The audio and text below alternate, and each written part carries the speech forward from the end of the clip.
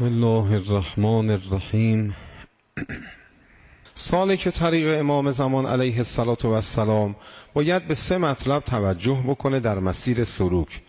چون ما تا زمانی که تشبه رو در خودمون به وجود نیاریم تشرف امکان پذیر نیست. تا زمانی که سنخیت در ما به وجود نیاد انزمام یقینا منتفی خواهد بود. لذا باید به این سه مطلب توجه خاص بکنه. سالک طریق امام زمان علیه السلام یک سری علل و عوامل رو میبایستی که در رابطه با خدا مراعات بکنه تا زمینه سلوک حاصل بشه. یک سری رو باید علت و عوامل رو در رابطه با خودش رعایت بکنه. یک سری عوامل هم در ارتباط با امام زمان علیه السلام باید رعایت بشه. تا این تشبه به وجود بیاد تشبه که آمد تشرف خود به خود حاصل میشه. سنخیت که به وجود بیاد انزمام حاصل خواهد شد. باید تمام هم و غم و انسان قرار بده برای تحقق این سنخیت. باید تمام هم و غم و انسان قرار بده برای به وجود آمدن این تشبه. اما مورد اول. یک سری علل و عواملی انسان باید بین خودش و خدای خودش رعایت بکنه. مورد اول تحصیل ورع تقوا. همه اینا مستنده به روایته. دونه بدونه روایتاشو بخوام عرض بکنم زمان می‌بره. تحصیل ورع تقوا و محاسن اخلاقی. اینها در یک روایت اومده. من سره ان یکون من اصحاب المهدی. حضرت میفرماید باید تحصیل و تقوا داشته باشیم. ورع. پروا داشتن از خدا اجتناب از محرمات. چطور ممکنه قلبی کانون محبت امام زمان علیه السلام قرار بگیره؟ همون قلبم نسبت به گناه و معصیت رغبت داشته باشه. اصلا امکان نداره این دوتا با همدیگه جمع نمیشن.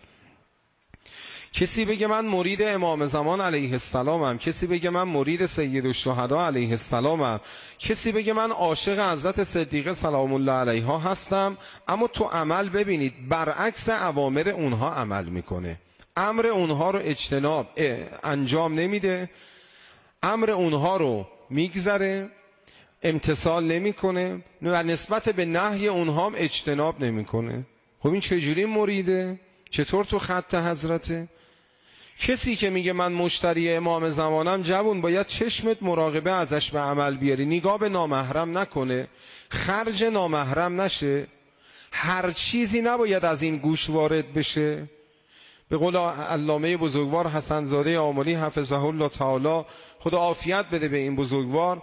ایشون میفرمودن واردات بدن رو مراقبه به عمل بیارید تا صادرات صادرات خوبی باشه. میگه چرا من حال جلسه ندارم؟ حال روزه ندارم. حال زیارت ندارم. حال قرآن خوندن و دعا خوندن ندارم. اما حال خیلی چیزایی دیگرم داره. چرا صادرات از من صادرات خوبی نیست؟ چون واردات واردات خوبی نبوده. چی از این چشم وارد قلب شده؟ چی از این گوش وارد قلب شده؟ چی از این دهن وارد شده و شده سلول تو بدن من؟ چی خوردم؟ حلال بوده؟ حروم بوده. به پدر شهیدی گفتن چیکار کردی که چهار تا پسرت شهید شدن؟ گفت از نجس پول حلال در آوردم. از نجس پول حلال در آوردم. یعنی چی؟ گفت من کارم تخلیه چاه بوده. می‌رفتم تو چاه تا اینجا تو نجاست. کار می‌کردم. در قعر چاه نجاست یک بار خدا را از یاد نبردم. کم کار مردم نذاشتم.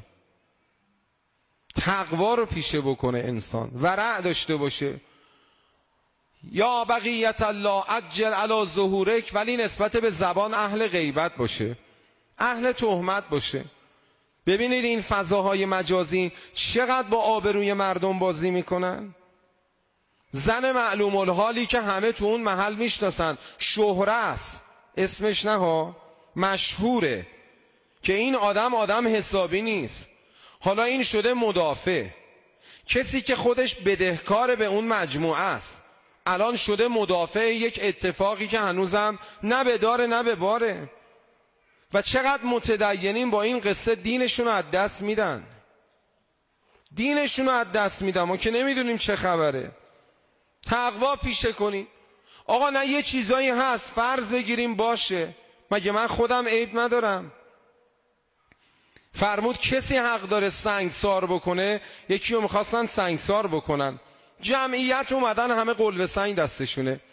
حضرت فرمود کسی حق داره سنگسار بکنه که عین این حد به خودش واجب نباشه. همه سنگا رو گذاشتن و رفتن. توجه میفرمید تقوا پیشه بکنیم. آقا شنیدی؟ بذار بگم می‌خوام نگی می‌خوام نشنوم. چیکار دارم؟ دین خودم رو بتونم نگر دارم؟ خیلی مهمه. نزان مورد اول تقوا ورع محاسن اخلاقی. الان بد اخلاقی داره تو جامعه حاکم میشه. جامعه رو که عرض می‌کنم کوچه خیابون نه ها تو خونه زندگی ها. پدر مادرها با همدیگه مشکل دارن. چرا؟ آقا از صبح تا شب دارم کار می‌کنم. راستم میگه. خرجم با دخلم نمی‌خونه. راستم میگه. سختی کار زیاده. صبح تا شب دارم میدوم. لذا اعصاب گفتگو بین زن و شوهر حاکم نیست. جاها عوض شده. اونی که باید اظهار محبت بهش بشه زنه. و اونی که باید اظهار نیاز در امور مادی و غیر مادی بشه مرده. باید بهش اظهار بشه. از قدیم می‌گفتن که آقا زن باید تحت پوشش شوهر باشه تا جایگاه ها با هم دیگه خلط نشه. الان برعکس شده. میگه من می‌خوام کار کنم دستم تو جیب خودم باشه محتاج شوهرم نباشم از اون ور مرده میگه من وارد خونه میشم خانومم یه بار به من نمیگه خسته نباشی. خدا قوت. تازه میگه مگه چته؟ منم پا به پایی تو کار کردم. بعد چه شیرینی و حلاوتی تو زندگی حاکمه؟ بد اخلاقی میاد. حتی این آدما در نیازهای جسمی هم نمی‌تونن همدیگر رو تأمین بکنن. دنبال یک مکان و یک چیز و یک جایی غیر از اونی که دارن میگردن. و همین صفره های گناه رو پهن می‌کنه دیگه. هیچ کس هم از این قاعده استثنا نداره. نه زن نه مرد. اخلاقیات رو در خونه حاکم بکنید. خدا رحمت کنه همه گذشتگان رو. ما عزیز جانی داشتیم دو سه سال فوت کرده. عزیز جان ما وقتی آقا جونمون فوت کرد 48 ساعت غذا نمی‌خورد. عزیز جان آخرش حالش بد شد کارش به بیمارستان کشید. می‌گفت عمرم گذشت یاد ندارم یه روز بدون این مد دست تو سفره برده باشم. توجه می‌کنیم عشق و محبت نسبت به هم دیگه. اظهار محبت نسبت به هم دیگه. خیلی مهمه. بعد میاد وقتی این به اصطلاح مشکل به وجود بیاد اثر رو بچه ها می‌ذاره. بد اخلاقی بچه ها با پدر و مادر. پدر و مادر با بچه ها بعد دختر خارج از منزل پسر خارج از منزل با این گرگایی که کف خیابون ریخته. بد اخلاقی در جامعه کوچک خانه و خانواده حاکم میشه و اگر بد اخلاقی تو این خانه و خانواده حاکم بشه تسری پیدا می‌کنه به همه جامعه. رو جامعه اثر منفی می‌ذاره. این جامعه جامعه مهدوی نیست. و غرب می‌خواد این فرهنگ بد اخلاقی رو در ما حاکم بکنه چون اونا چیزی به نام فرهنگ اجتماعی ندارن به معنی که ما داریم. اونا دنبال نفسانیاتن. توجه میفرمی؟ تقوای الهی ورع پروا داشتن از خدا اخلاقیات در زندگی حاکم کردن. توجه میفرمید؟ خیلی اینا اهمیت داره. من هیچ مشکلی ندارم. آقا به سگ رسیدگی کنید. خیلی هم خوبه. دیدید به سگ تو این فضای مجازی هم پر می‌کنن به سگ غذا میدن. یه خانومی هم هست همش میگه بچه هام بچه هام حالا خودش رو نشون نمیده فقط این میگه بچه هامو نگاه کنید. بله این کار انجام بدید. بزرگان از علمای ما این کار انجام می‌دادن. اما الان اگر می‌خواید یک مجموعه در دفاع ما آدمای نیازمند با آبرو دور برمون هستن. چقدر آدم داریم با سیلی دارن خود صورت خودشون رو سرخ نگر میدارن. حالا میان توی فضاهایی کمیته امداد رو زیر سوال می‌برن. نفعش رو کی می‌بره؟ می‌دونید چرا؟ چون نام امام روشه. حالا این نام امامو وردار یه اسم دیگه بذاروش اگر حمایت نکردن. به بچه چهار سالش یاد میدینه بنده تو سطح آشغال یه فحشی هم بده یه مرگ بر فلان هم بگو. خب که چی؟ که چی آخه؟ یه ذره آدم فکر کنه. بله اشکال هست. کی میگه نیست؟ مگه من سخنرانی می‌کنم با این تجربه تو سخنرانیم یه وقتی فیلم خودم رو می‌بینم می‌بینم چقدر من اشکال دارم تو سخنرانی کردنم. چقدر توپق می‌زنم تو حرف زدن ها مگه من اشکال ندارم؟ مگه شما اشکال نداری؟ بعد حالا الان بله اشکال هست. اشکال بگیرید نقد کنید. اب نداره.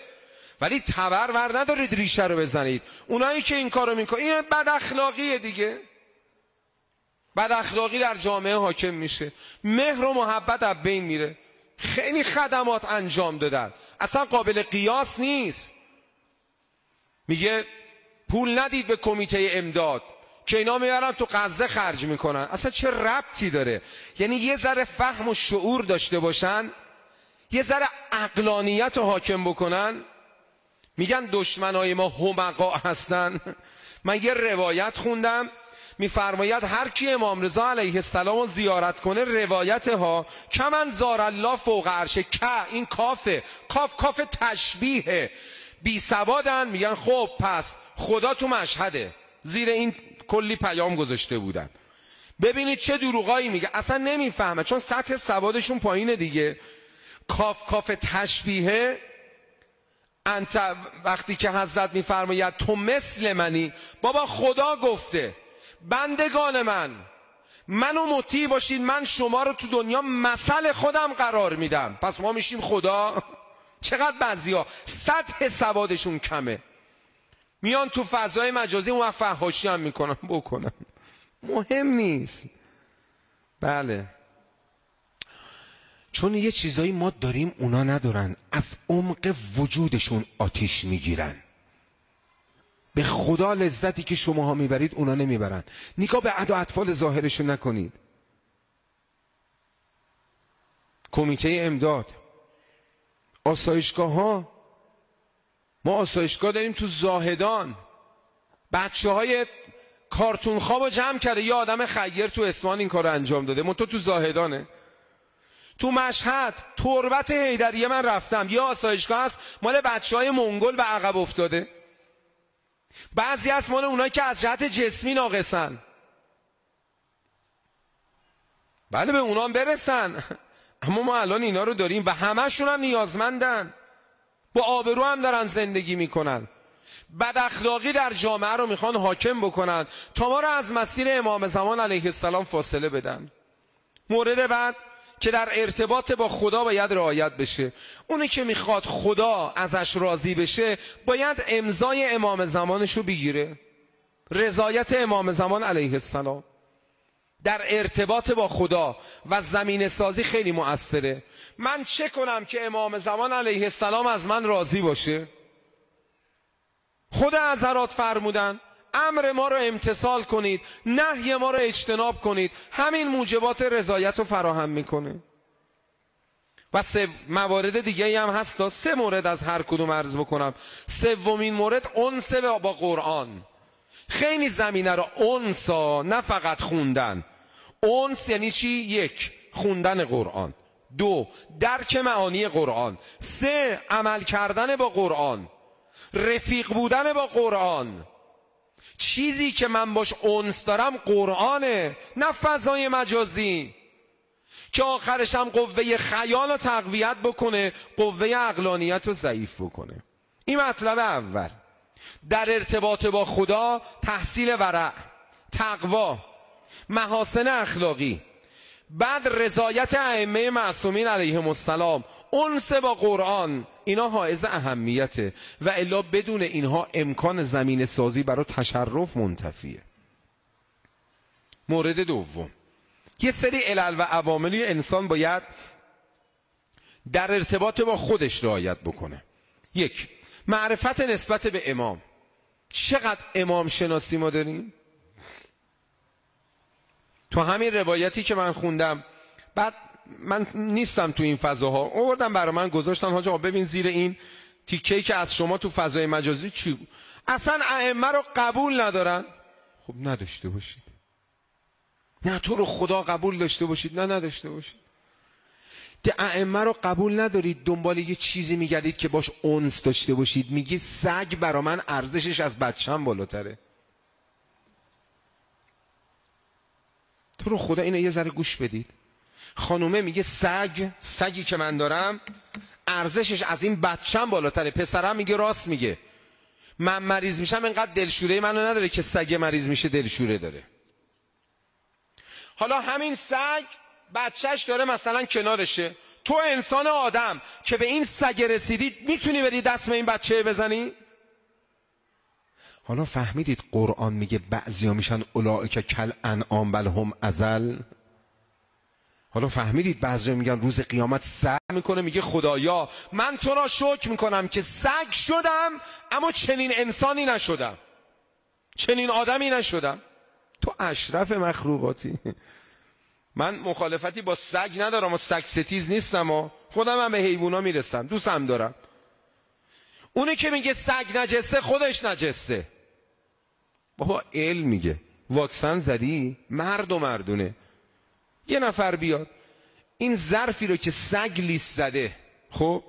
ببره توی آزمایشگاه. میکروبی که بهش هست ویروسی که بهش هست با چی از بین میره؟ با چی برطرف میشه؟ با خاک. خاکمال کردن. اینو علم داره میگه الان. میگه معرفت نداره زیر همین نوشته بودن. امام یعنی چی؟ یک حرفای نامربوطی. خب شماها انستون با اونه برید. ولی ما انسمون با امام رضاست. ما انسمون با امیرالمؤمنینه. ما انسمون با امام زمانه. شماها گرفتار میشید چیکار می‌کنید؟ میرید یه کارای غیر معقول انجام می‌دید. ما میریم کاسه گداییمون در خونه ائمه دراز می‌کنیم. همه چیز هم داریم. مسخره می‌کنید بکنید. اصلا برامون اهمیت نداره. چون لذت رو نچشیدن. این از اون حلوه که تا نخوری ندانی. نخوردن این حلوا رو. نخوردن. مست شدن اصلا. مست. یه بابایی به پسرش گفت پسر اول بلوغت دارم بهت میگم تا آخرم دیگه باد کاری ندارم. هر چی می‌خوای انجام بدی انجام بده. ولی قبلش به خودت بگو من آدمم من انسانم. کاری انجام بده که در چارچوب آدمیتت باشه. آدمی انسانی. نبردن لذت رو نبردن نچشیدن. کنار دریا بهشون خوش میگذره. اما ما چی؟ میری تو مسجد تن... شجره محرم میشی لباسا رو از تن در میاری. جوراب هم حق نداری پات کنی. یه حوله میبندی به عنوان سطر مثل لونگ یک کم رودشت میندازی.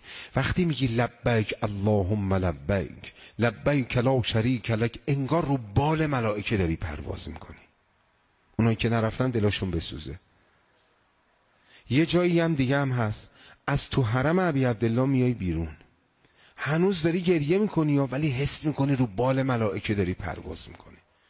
اینقدر لذت داره. اونو نفهمیدن این لذت رو نفهمیدن. ما غمی از مرگ نداریم. چرا؟ چون محب علی ابن ابی طالبیم و محب به کسی هستیم که آقامون وعده داده. و من یموت یرانی هر کی بمیره منو می‌بینه و من محبم و لحظه مردن تنها نمی‌ذارم. هم لحظه مردن هم لحظه احتضار هم شب اول قبل به داد محبم می‌رسم. خب اونا اینا نچشیدن. نمی‌فهمن. معرفت نسبت به امام. ما امام داریم. آجون یا بقیت الله. خونت دارم عرض می‌کنم. تو نامه نوشته سند مستند داده دست مرحوم مفید. انا غیر محملین لمراعاتکم. ولا ناسین لذکرکم. من چقدر مگه پای منبر ما میان؟ 500 نفر هزار نفر دو هزار نفر هرچی امام زمان می‌فهمد ما شیعیانمون رو به نام می‌شناسیم. به نام براشون دعا می‌کنیم. ولا ناسین فراموشتون هم نمی کنیم تازه. شما به یاد من نیستید من به یادتون هستم. شما برا من دعا نمی کنید من براتون دعا می کنم اگه آقا دعا نکنه که زمین اهلشو میبلعه. معرفت نسبت به امام زمان. او صاحب ماست. او هوامونو داره.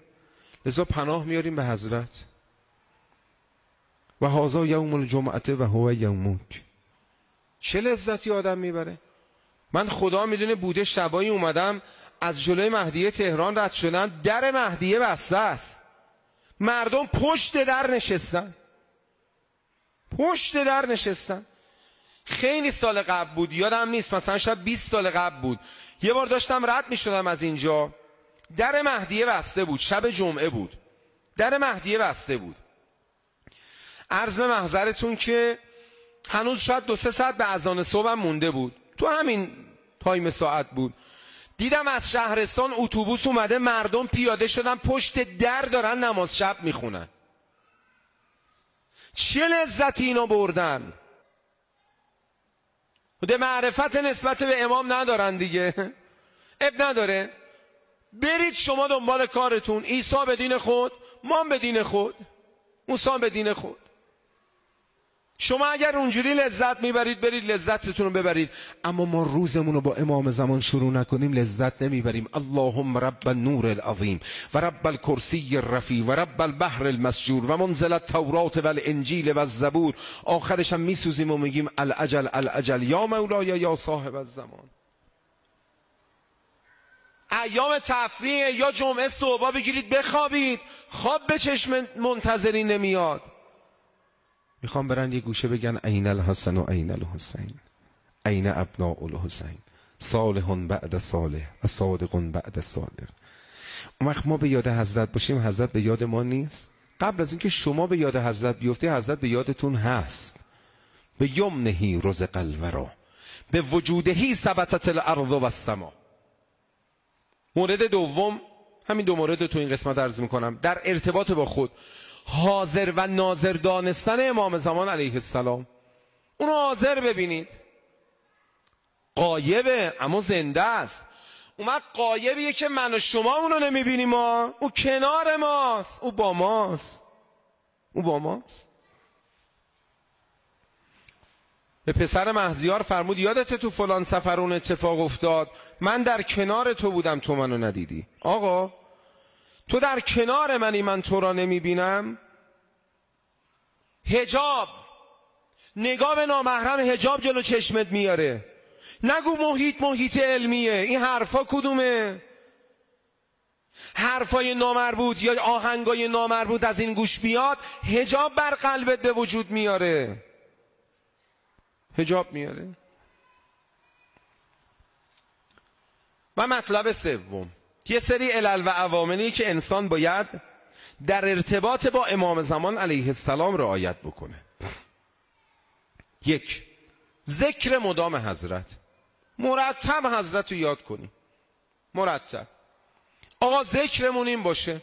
شما دیدید از زمین بلند میشن؟ یا علی میگن؟ درسته. بیاید بگیم یا علی هم بگیم. یا صاحب از زمان ادرکنی یا صاحب از زمان اقسنی تو هر بار نشستن و بلند شدن. چه اشکالی داره؟ بذاری بچه ها ببینن. مرتب داری میگی یا صاحب از زمان. یا بقیت الله. روحی لک الفدا. بذارید ببینن. نام امام زمان از دهن پدر مادر پدر بزرگ مادر بزرگ نمیفته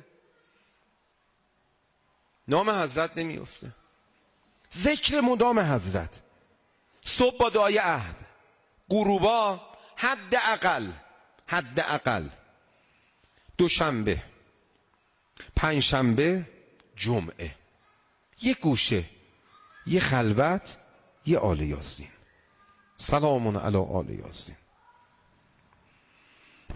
یه آل یاسین بخونیم. بعد ببین دل و هوا چجوری میشه. خصوصا غروب جمعه که دلا می‌گیره. چون این سه لحظه لحظاتیه که پرونده هامون خدمت امام زمان علیه السلام عرضه میشه. بود فرمودین. مرتب ذکر حضرت داشته باشید تو خونه هاتون تابلو داشته باشید یا صاحب از زمان. ادرکنی یا صاحب از زمان. اقسنی بله. مورد دوم. در ارتباط با حضرت. موجبات تأثیر و ناراحتی حضرت رو فراهم نکنیم. حضرت با گناه ما متأثر میشه. با گناه با معصیت. یه سری ابزاری تو خونه است یک سری وسایلی تو خونه است. می‌دونی این مرزی رضای خدا و ائمه نیست. بنده تو خونه بیرون. نزد تو خونتون بمونه.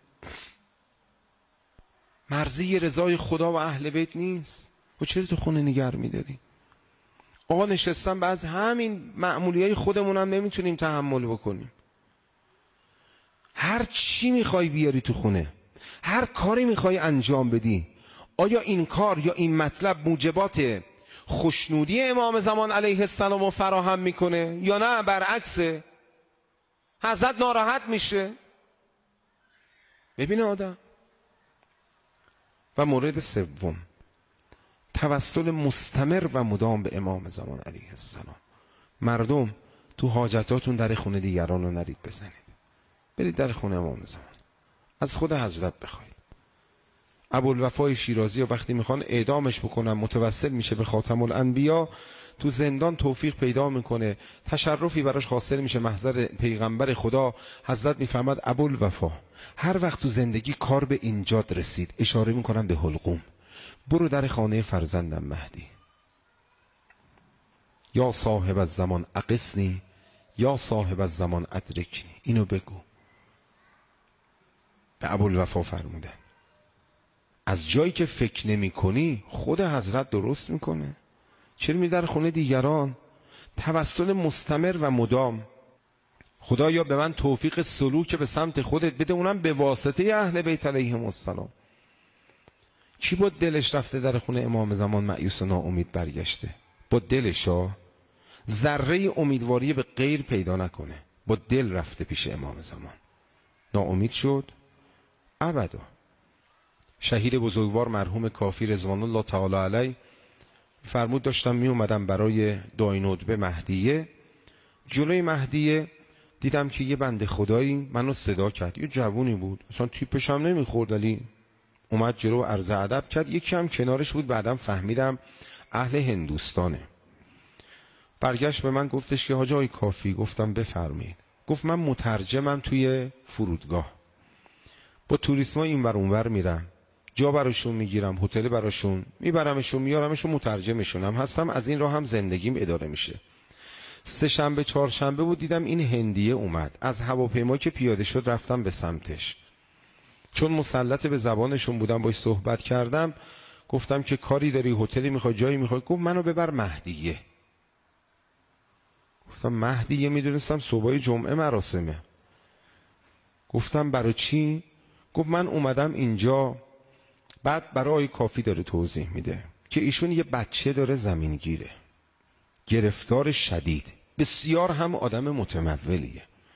یه نفر تو هندوستان همسایه اهل ایران اهل تهرون گفته هر کسی بره مهدیه تهران بچهش خوب میشه.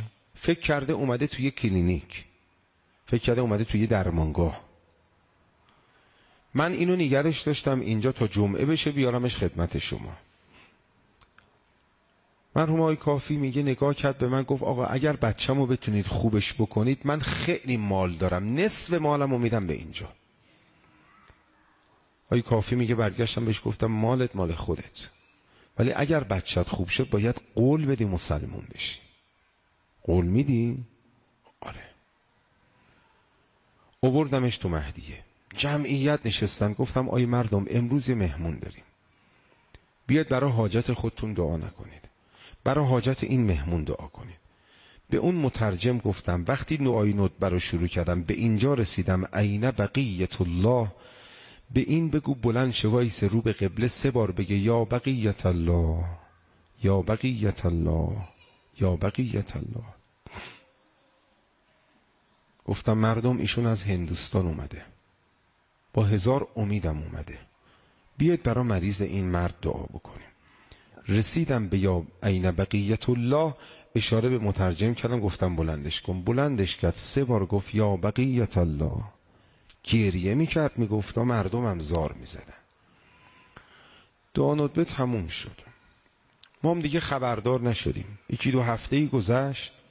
صبح جمعه اومدم مهدیه دیدم همون پسر مترجمه تو فرودگاه اومد. حاج آقا نامه از هندوستان داره. گفتم خب.